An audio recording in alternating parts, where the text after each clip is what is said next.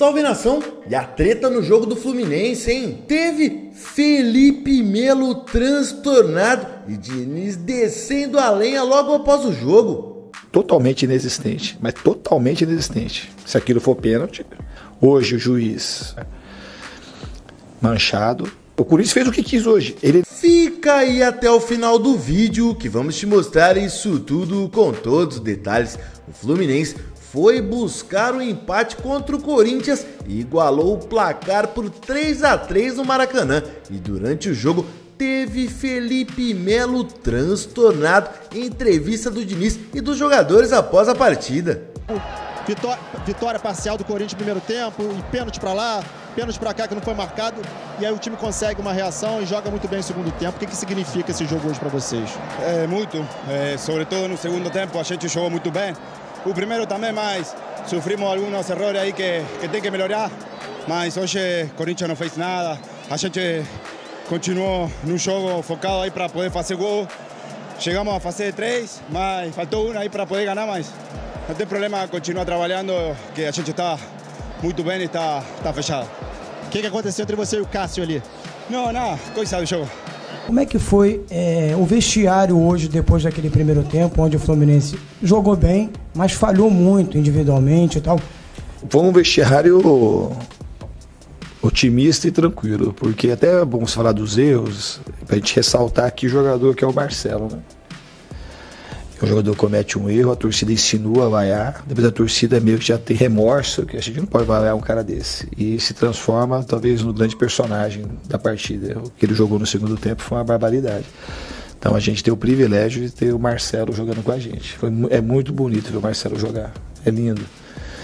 E, e no segundo tempo, assim, a gente já corrigiu algumas coisas, poucas coisas, mas não tinha muita coisa para corrigir do primeiro para o segundo tempo. No fundo, teve um pênalti não existente, tivemos duas falhas pontuais, que foi o Corinthians se aproveitou, foi muito preciso. No fundo, a gente teve mais um erro lá de saída que eles não aproveitaram, então eles tiveram três chances e aproveitaram duas e o erro da arbitragem do pênalti. Fora isso, o time não tinha, não tava, não criou tanto, não foi tão incisivo, mas estava comandando o jogo, chegando de maneira equilibrada, cuidando dos contra-ataques, que é um time que jogou com essa proposta, o Corinthians. Mas e a treta, hein? Teve Felipe Melo transtornado após uma atitude bizarra dentro de campo e Fernando Diniz descendo a lenha na entrevista coletiva. Bora ver.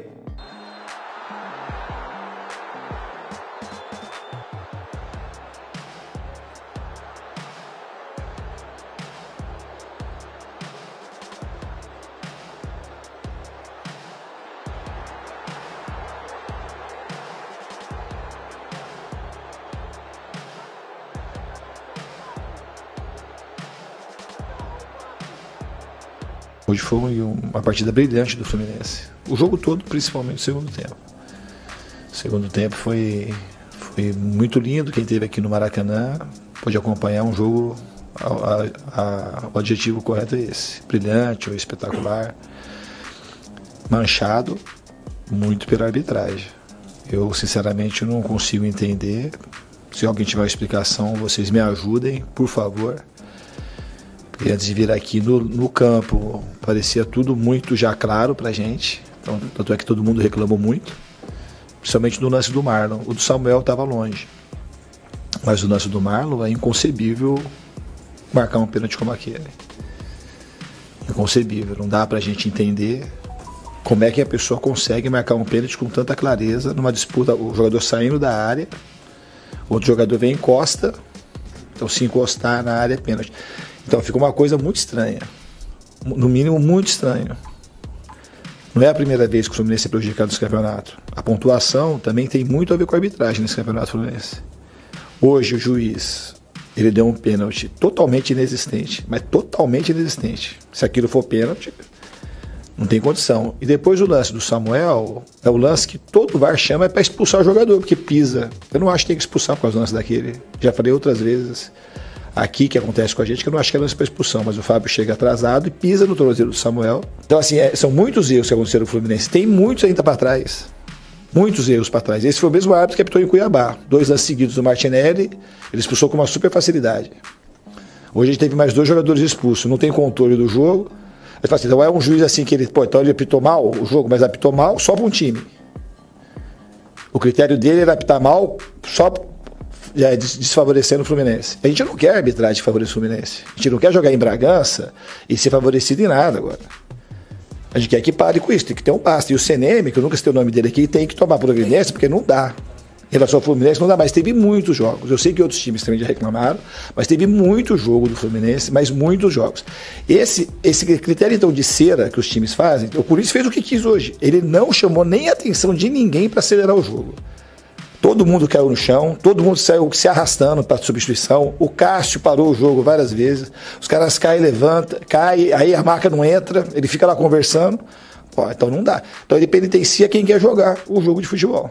Em relação à não interferência do VAR, o VAR está para interferir quando tem que interferir. Eu não acho que o VAR tem que interferir toda hora. Mas no lance, quando o cara comete dois erros crassos como o de hoje, ele tem que interferir, tanto em um como em outro. Porque eu, eu acredito o seguinte, para a pessoa marcar pênalti, como foi no primeiro lance, com a segurança que ele marcou, tem que estar alguma coisa, tem que ser uma coisa muito clara, porque é um, é um lance capital.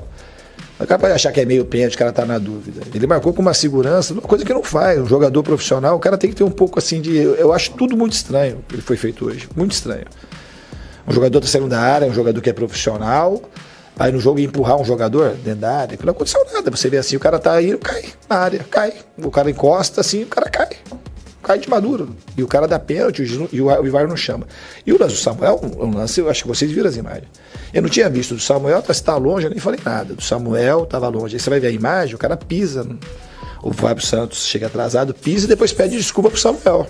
Ah, e não esquece que estamos sorteando essas lindas camisas em parceria com a loja Bahia Store. E para participar tá fácil, hein? Se inscreva no nosso canal e deixe um comentário aqui nesse vídeo sobre o que você achou da atitude do Felipe Melo e da arbitragem no jogo contra o Corinthians e Fluminense. Pronto, você já está concorrendo a essas camisas de qualidade que você só encontra lá na Bahia Store. Ah, não para por aí não. Preparamos um baita desconto para você que comprar a camisa lá no site. É só clicar no link que tá aqui na descrição desse vídeo e pegar o cupom de desconto clubista 10. Pronto, agora é só garantir a sua camisa com um baita desconto.